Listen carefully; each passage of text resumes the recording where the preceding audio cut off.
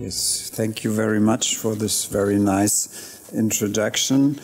Uh, my topic today is to uh, restrict to autologous stem cell transplantation in lymphoma, so that's what I'm talking about. Here you have a nice view from Heidelberg. Greetings from Tony Ho, who actually is living there somewhere. Um, now retired, by the way, since a few months. So what will I tell you today? I will speak for a longer while on standard indications in non-Hodgkin's lymphoma. Uh, I will skip Hodgkin's lymphoma uh, in the interest of time, but also because in our center at least, uh, Hodgkin's lymphoma is now the fifth uh, only on the fifth uh, place uh, in indications for autologous transplantation after myeloma, non-Hodgkin's lymphoma, uh, amyloidosis, autoimmune diseases, and only then comes Hodgkin's lymphoma. We have only a handful uh, of auto transplants for Hodgkin's in the last few years. Uh, and if there's some time left, I would touch on some special situations like HIV infected patients and double hit lymphoma, which of course is an orphan disease, but I'm always asked about transplant in double hit lymphoma. That's why it's on the agenda today. Uh, so what are the main indications within Europe or within the EBMT, which covers more than Europe? Uh, this is uh, a slide capturing the status in 2014 because for that year we have uh, the complete numbers all together and you can see that diffuse large B-cell lymphoma is the main indication or the most frequent indication in Europe with more than 1800 autotransplants per year. Then comes Hodgkin, so the situation in Heidelberg or Germany may be different than in the rest of Europe. Uh, then the third uh, uh, frequent indication is mantle cell lymphoma, followed by follicular lymphoma, T cell lymphoma, and CLL has uh, almost disappeared from the auto transplant map. Altogether, almost 6,000 autografts have been performed in Europe in 2014, and there you can see the kinetics. So altogether already two years ago, autologous transplant in lymphoma was going down a little bit, of course, most pronounced in CLL, but also in uh, follicular lymphoma, Hodgkin's lymphoma. Uh, only peripheral T cell lymphoma and mantle cell lymphoma had some increase in numbers. Uh, coming to the standard indication, I will only talk about standard indications today for autologous transplantation. And here you have the most recent uh, EBMT catalog, so to say. It has been expected that we will have another version this year, but probably we have to wait for next year. So this is the 2015 version, and there you can see that for diffuse large B-cell lymphoma, the standard indication is chemosensitive relapse uh, uh, or uh, chemosensitive relapse beyond uh, first uh, line, of course. Uh, so there has been some rumors about the CORAL trial because it suggested that those patients who had a prior rituximab before relapsing had a poor, poorer prognosis, and indeed this is the case. Uh, if you look at this curve from the JCO publication in yellow, you can see those patients who had prior rituximab and then had a relapse, mostly an early relapse within the first year after primary treatment. Uh, and there you can see by intent to treat, the outcome is significantly worse than uh, compared to those patients who had uh, uh rituximab naive um, induction treatment. Uh, and uh, so, so the question was, is in the rituximab era autologous transplantation still an option for relapse or refractory diffuse large B-cell lymphoma patients? and I will present you two registry study, one from the CIBMTR, which is this one, uh, and they were addressing early failure of frontline rituximab containing chemoimmunotherapy in diffuse large B-cell lymphoma.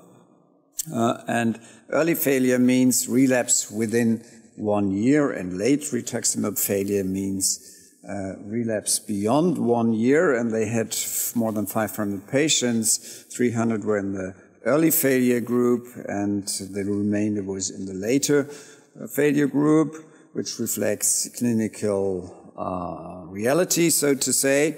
And here you can see that if these patients were in remission, were responding to um, salvage chemotherapy, there was no significant difference um, with, uh, beyond the first uh, nine months after transplant. So if you do the type of landmark analysis, you will see that those patients were starting here, uh, that there is no significant difference in the long term.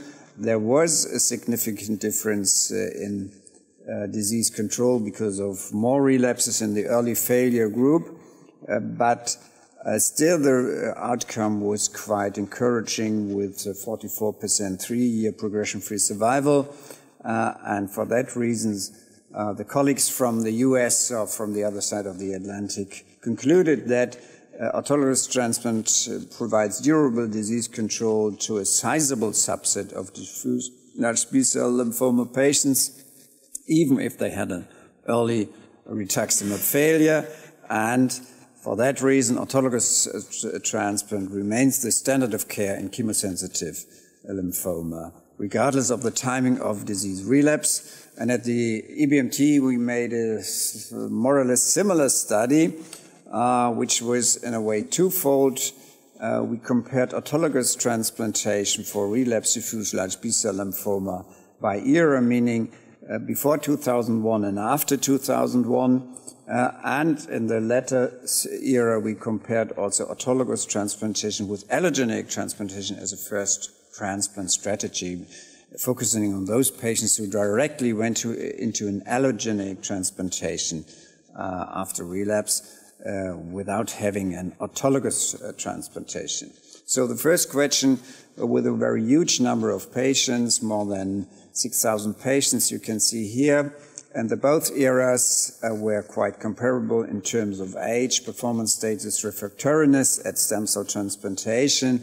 However, the more recent series was more heavily uh, pretreated and there was a shorter interval between diagnosis and transplant in the more recent series. And this is now the progression-free survival. You can see there was virtually no difference between the pre-rituximab and the rituximab era And there, uh, actually, there was a trend in favor of the latter series, meaning that those who had a rituximab uh, pre-treatment, or at least were treated in the uh, rituximab era, had a slightly better outcome than those who have been treated before. Uh, then the comparison between autologous transplantation and allogeneic transplantation, meaning myeloablative and reduced intensity, uh, conditioning uh, depicted here separately. Of course, these first allo transplants were much, much fewer in number, uh, and there was also some other unfavorable uh, factors in the allogeneic groups, uh, with more patients having a poorer uh, performance status, with significantly more patients, almost double, who had a poorer disease status as transplant and also the pre-treatment was much more pronounced in those patients who had an allograft. So, so these groups were not really well um, comparable, uh, and that might explain why, uh, in all settings, uh, autologous transplantation was the superior choice in diffuse large B-cell lymphoma as a first transplant. So we didn't uh, find any evidence or any hint that might favor uh, going directly to an allotransplant, uh, submitting, uh, skipping the, the auto step, even in refractory patients. I didn't show that, but, but also in the refractory patients, there was no benefit for using allogeneic transplantation as a first transplant. So uh, this uh, came out of this retrospective study, which of course has many limitations. So it's, it's not uh, the evidence uh, for, for the policy never do an allogeneic transplant as a first transplant in relapse diffuse large B-cell lymphoma, but on the other hand, it doesn't support this strategy, of course. Uh, so I can skip that uh, and jump to mantle cell lymphoma, where uh, uh, autologous transplantation, at least in the younger patients, is standard of care in first line treatment. And here you have the reason why. This is an old study uh, from the Munich group, from the Wolfgang Hiddemann group, which finally showed oh, it's, it's, actually not a single study, it's a pooled analysis from three studies, which finally showed an overall survival benefit uh, of those patients who underwent autologous transplantation as first line, uh, in, in, first line treatment for mantle cell lymphoma. Uh, and part of this was um, collected during the pre-rituximab era, so uh, there is some, it's, it's not this uh, most solid data uh, which one would like to have. Nevertheless, uh, it's considered as standard in mantle cell lymphoma. Here you have the uh, over, over survival advantage at five years, 14%. and then we had this large successful prospective trial by the European uh, Mantle Cell Network, the MCL Younger trial, which was finally published in the Lancet by Olivier Hermine. Uh, and there was a big uh, benefit for the uh, um, intervention group, which means, or the experimental group, so to say. Uh, here it was uh, not a comparison transplant versus no transplant. So all of these patients underwent transplant, at least were intent to transplant. Uh, but one group received uh, cytarabine as part of the induction regimen plus rituximab, and the other, that was the so-called French regimen, uh, and the other half received uh, cytarabine-free induction regimen, which was consisting of R-CHOP, more or less. That was the German regimen. Uh, and you can see that the French regimen was significantly better in terms of disease control. This, uh, unfortunately, uh, did not uh, translate into an overall into a significant overall survival benefit, uh, but uh, nevertheless, it is very clear that those patients who had cytarabine, high-dose Ara-C, had a better disease control than the others.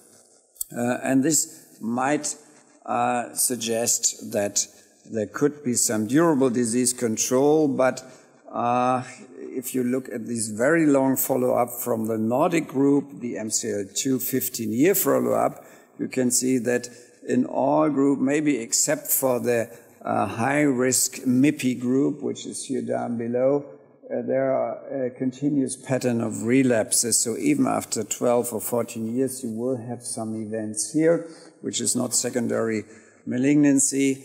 Uh, and that suggests that with autologous transplantation, even if you use all necessary components, including rituximab and Ara-C, you have no curative treatment at hand in mantle cell lymphoma with the auto transplant.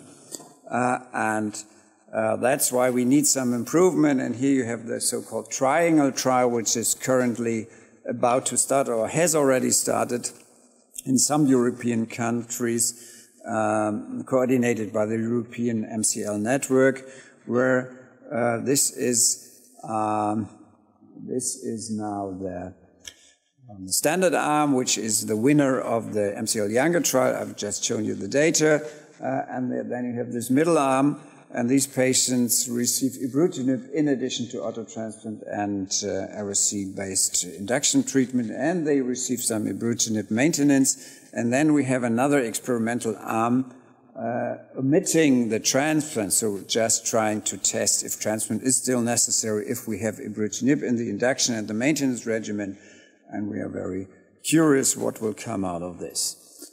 Uh, so in the relapse setting, also um, um, autologous transplantation is considered as a standard indication in mantle cell lymphoma.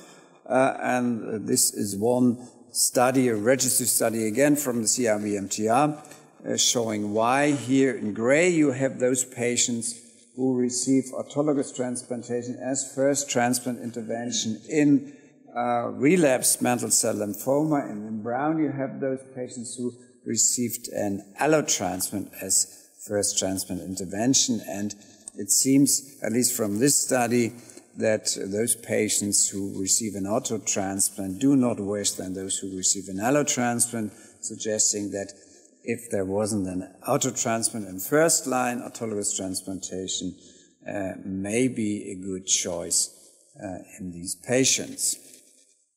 So what about maintenance treatment with rituximab after autografting for mantle cell lymphoma? This is the LyMa trial by the LYSA group, uh, coming from French, has been presented at the ESH, and I think the um, main publication is also out. Uh, and uh, this just is a very straightforward um, randomization between those patients who uh, undergo this standard induction and autografting regimen, uh, followed by rituximab maintenance, yes or no. Uh, and here you have the results. There was a significantly benefit in terms of event-free survival from the time of randomization uh, for those patients who had rituximab maintenance, which had, uh, after three years, more than 80% uh, event-free survival, which was around 70% or so in the observation group, so still a clear, uh, clearly a benefit. And this was most pronounced in those patients who were MRD positive or still MRD positive after, uh, uh, after what? Uh, before uh, auto transplant. So, so these, these are the blue patients, they were MRD positive post-transplant, did not receive rituximab maintenance. And uh, in green here, in green, not so easy to uh, see, these are the patients who were uh, MRD positive um, prior to transplant and then received rituximab maintenance. So it seems that uh, in these patients, uh, the maintenance is particularly beneficial, whereas in those patients who are already MRD negative prior to transplant, it, uh, the, the uh, difference between maintenance yes and no is not that strong, and it's questionable if this is significant. So, uh, just in a nutshell, um, autologous transplantation in mantle cell lymphoma is considered as standard in first line and second line therapy if there was no auto transplant already during first line treatment. Uh, it should be done in the first line treatment based on an Ara-C and rituximab uh, induction regimen. Uh, it doesn't appear that there's a curative potential with autografting in mantle cell lymphoma and rituximab maintenance may increase disease control. Follicular lymphoma, uh, not such a frequent indication for autografting as it used before, as I have shown you, considered as standard indication in chemosensitive relapse, not in first line uh, treatment. And uh, again, asking the question for cure, where we said no for mantle cell lymphoma. So what data do we have? This is some long-term data already several years ago that since that was published, uh, where you can see that in the relapse curve, uh, there obviously are plateaus. This is some very long-term data pooled from the Boston and the uh, Barts series with no events beyond eight years or so, and similar observations were made in Heidelberg, uh, where we had also after uh, seven years or so, no relapse uh, event. And those patients who underwent MRD testing at that time, most of them were MRD negative, suggesting that there is a very good disease control.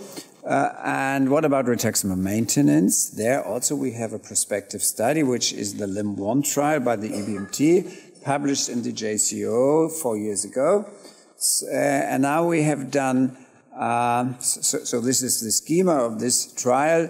Uh, it was a little complicated comparing two, uh, ha having two randomizations. So, so, first we had a randomization between an in vivo purging with rituximab, yes or no. So these patients received a dose or two of rituximab prior to PBSC collection and the others not.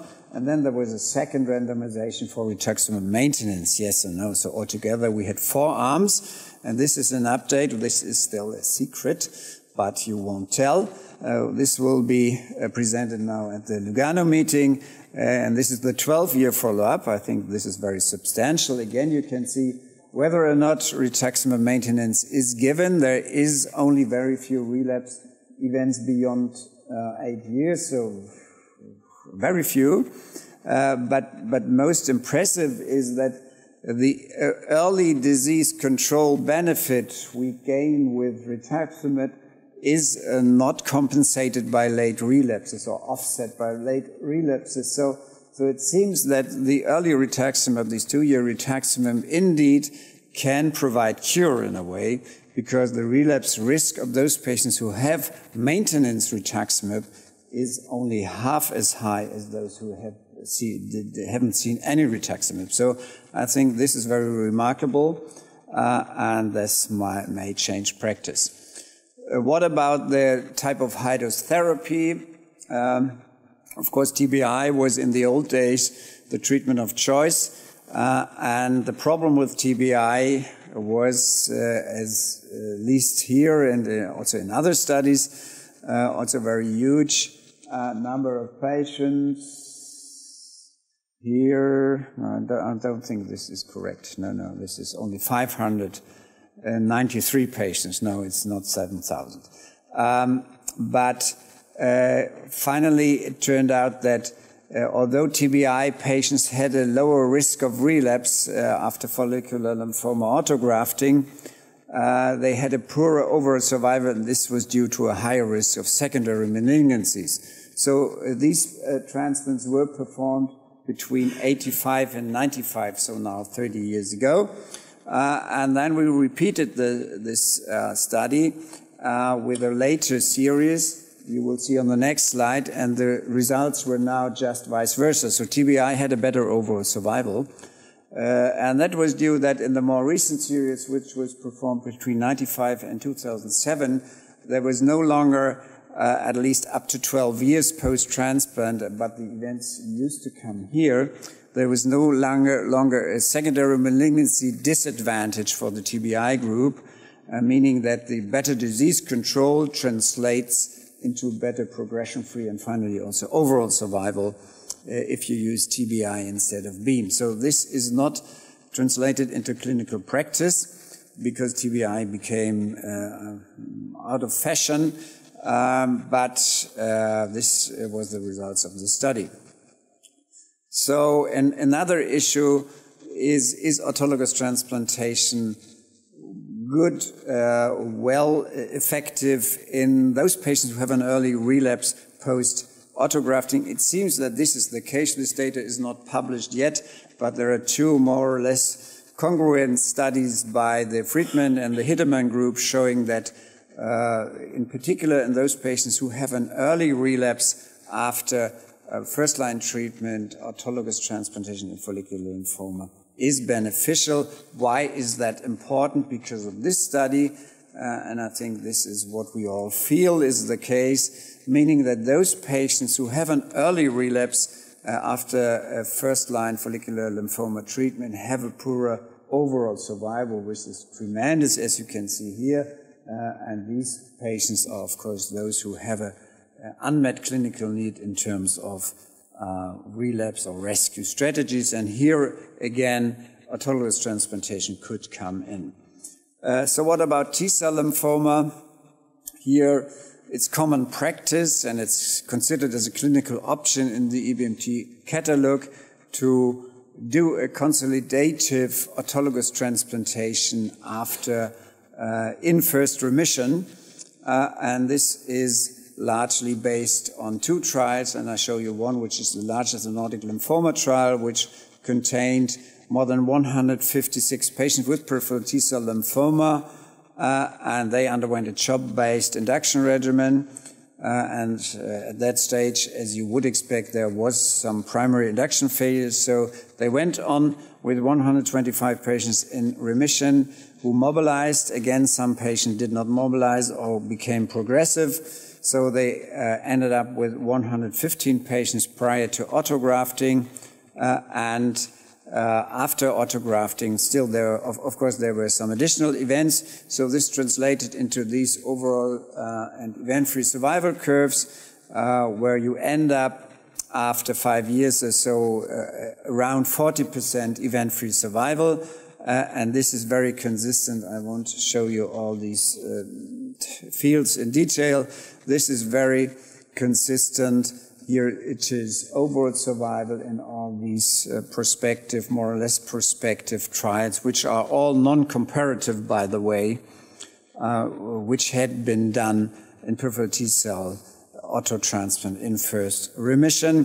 So what, what we have is this. This is a registry study by the Swedish group uh, where uh, autologous transplantation in first remission turned out to be a significant uh, beneficial factor uh, for overall survival uh, in this multivariate analysis. Uh, but there are other data. This is also a retrospective study by the uh, Philadelphia group showing that those patients who were in first complete remission in, with a peripheral T cell lymphoma, and for some reasons, uh, of course, it's not very clear in this type of study why these patients did not get a transplant. At least uh, they had no disadvantage not getting a transplant because you can see this is curves with or without a transplant are more or less superimposable. And we have done uh, more or less a similar study, just intent to treat, of all patients with peripheral T cell who came through the door.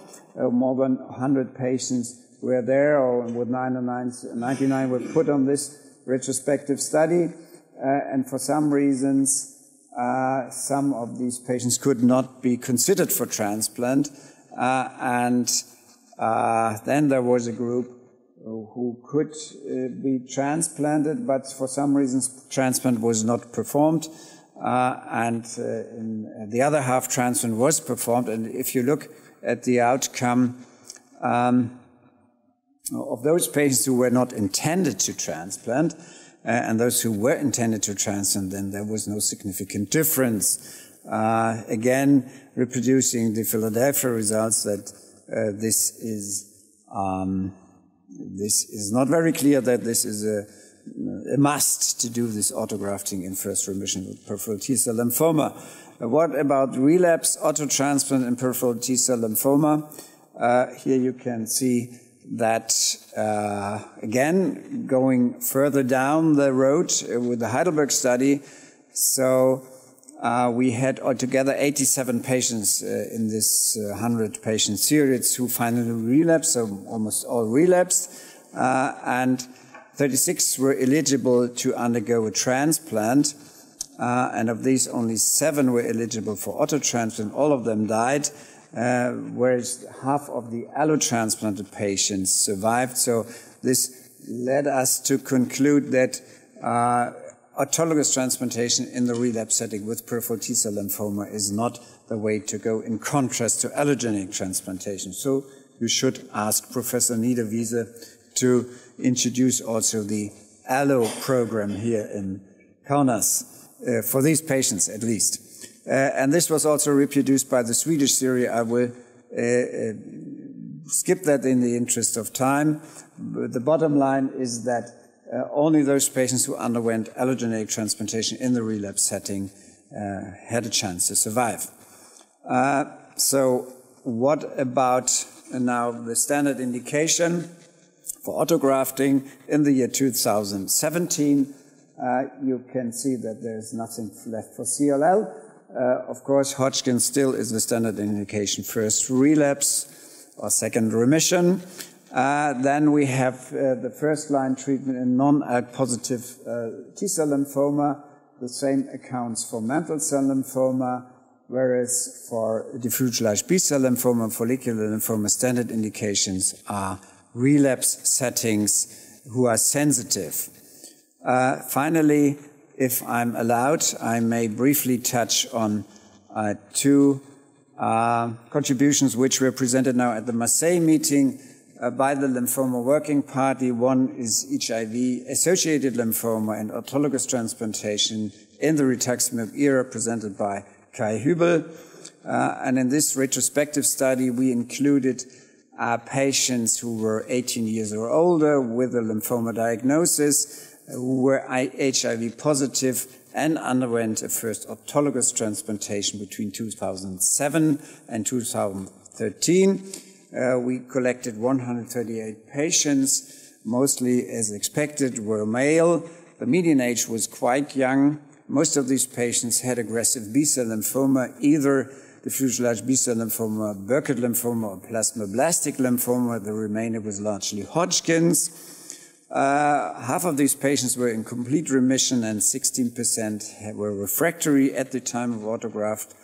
Thing uh, of note, 28% of these patients had only a single line of chemotherapy prior to transplant, so these were first line consolidations. Uh, most of these patients received BEAM high dose uh, therapy, uh, and almost all patients continued their HIV specific treatment during salvage and autologous transplantation. So this is the non-relapse mortality and the relapse curve, uh, while the relapse situation is quite satisfying with only 20% relapse incidence within the first two years. Uh, the uh, non-relapse mortality appears to be a little bit higher than what we would expect in non-HIV patients, but it's not tremendously high, and this translates into a nice progression-free survival of 68% across all these entities altogether. And if you break that down for the individual entities, you can see that 86% uh, Hodgkins and Burkitt's, where you may wonder why these patients received an auto transplant, but nevertheless they did. Probably they would have had the same outcome without a transplant, so maybe we should not focus too much on the Burkitt lymphoma patients, but the, the outcome of diffuse large B-cell uh, lymphoma patients, and in particular plasmablastic lymphoma patients, I think is very encouraging. Uh, and uh, no reason not to do a transplant in HIV um, uh, infected patients. This is the multivariate. I can skip that, and this just summarizes what I just have told you. So uh, let's go finally and then you're ready for the lunch, uh, to the double hit lymphoma, uh, how it is now called in the WHO classification, high-grade B-cell lymphoma with MYC and BCL2 and or BCL6 rearrangement. So, so this is the official term now of double hit. Uh, and uh, this means that there is a coincidence of potent proliferation and survival signals uh, these patients have a poor prognosis with a standard R-CHOP regimen. And there is some uh, preliminary data suggesting that the prognosis may depend on, on the MYC translocation partner rather than a second hit, uh, but that takes us too far away now. Uh, it's up to 10% of all diffuse large B-cell lymphoma, probably not so much in every series. Uh, and they have to be distinguished from double expressor lymphoma, uh, where there is the gene product expressed, but these, um, these lymphomas are not considered as a distinct entity in the, uh, in the current version, which is from last year, um, but only as a prognostic subset of uh, diffuse large B-cell lymphoma.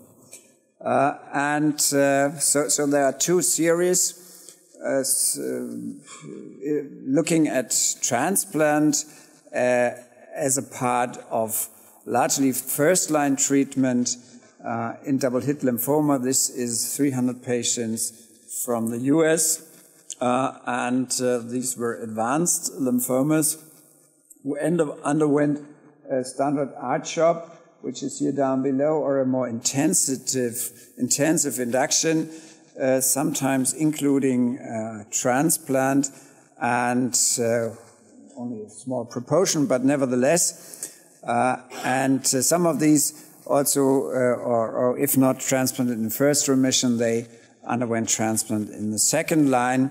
and there was a big uh, difference in terms of progression-free survival, but uh, no difference in terms of overall survival, meaning that those patients who have a relapse here could be successfully salvaged and this hints to the fact that transplant might has, have, have had some benefit, and this was also then uh, figured out or, or, addressed separately in the study. So those patients who underwent some transplant in complete remission were better than those who did not. This was not statistically significant, but might turn out to be so if the numbers would have been higher. Then uh, finally, a second study um, I think from MD Anderson. Uh, and uh, this is about 150 patients of the same age and the same mixture of risk factors, or were even worse than the previous study. And again, there were R-CHOP patients and some more intensive regimen. Uh, and again, there was a small proportion of patients who uh, underwent primary or secondary transplant. Uh, and uh, here you can see a significant benefit now in, uh, in favor of those patients who underwent um, largely autograft. There were a few allografts in between. Uh, and uh, by multivariate analysis, this remains stable. So a first-line consolidation autotransplant in this study was beneficial in patients with double-hit lymphoma. Uh, and um, most interestingly, and in contrast to what you would expect and what we always see, is that the benefit of autografting was not in the sensitive patients, no, it was in the refractory patients. So here you can see those patients who have uh, complete remission after first line treatment, and there was no benefit of, at all of autografting.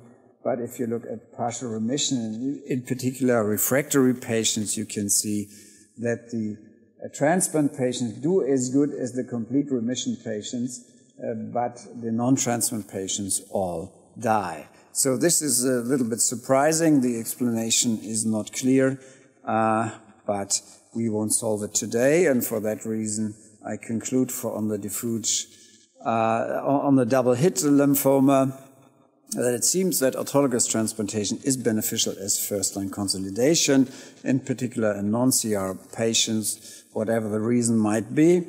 Uh, uh, and it might be probably also effective in the salvage setting. The role of allo over autologous transplantation cannot be answered to date. Uh, and having said that, I thank you for your attention. This is another postcard from Heidelberg. Uh, and uh, indeed, Mindaugas Andrulis uh, was a nice collaborator. Unfortunately, he left now uh, to Ulm. Uh, and we struggle a little bit about the hematopathology, but we will deal with it. and these are my co-workers from the EBMT, Chronic Malignancy and Lymphoma Working Parties. And of course, uh, I thank you all for your uh, hostility, uh, uh for hospitality, and Dietger, who made me come here finally.